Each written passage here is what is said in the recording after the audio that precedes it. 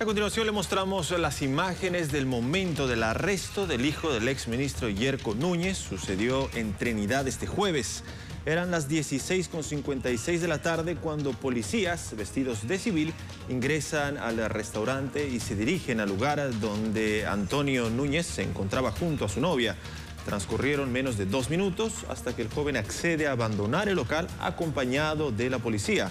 Tras salir del restaurante, abordaron un vehículo para dirigirse al hotel donde se estaba hospedando el hijo del exministro.